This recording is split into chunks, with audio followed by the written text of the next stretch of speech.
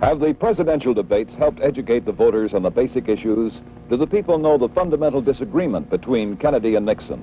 In the second debate, Senator Kennedy said, I believe that our power and prestige in the last eight years has declined. Now, what is the issue is what we're going to do in the future. Now, that's an issue between Mr. Nixon and myself.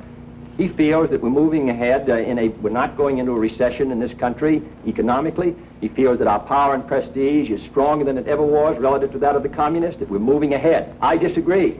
And I believe the American people have to make the choice on November 8th between the view of whether we have to move ahead faster, whether what we're doing now is not satisfactory, whether we have to build greater strength at home and abroad, and Mr. Nixon's view. That's the great issue. President Eisenhower moves from the scene on January 20th, and the next four years are the critical years. And that's the debate. That's the argument between Mr. Nixon and myself. And on that issue, the American people have to make their judgment. And I think it's an important judgment. Senator Kennedy discussed the issue on Meet the Press Sunday, October 16th.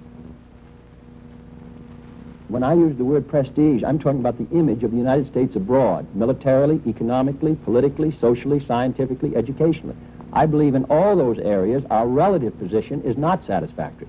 We have sufficient momentum because we had an, an, atomic monopoly for a while and a hydrogen monopoly, and we had a great airlift capacity.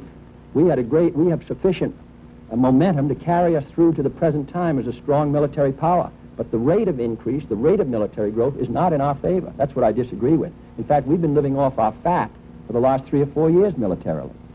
The Soviet Union made the great breakthrough in space and in missiles, and therefore they're going to be ahead of us in those very decisive weapons of war in the early 60s. What is true militarily is true economically. Their rate of increase is greater. It's certainly true scientifically. And in the image they give to the world of a country on, on the move.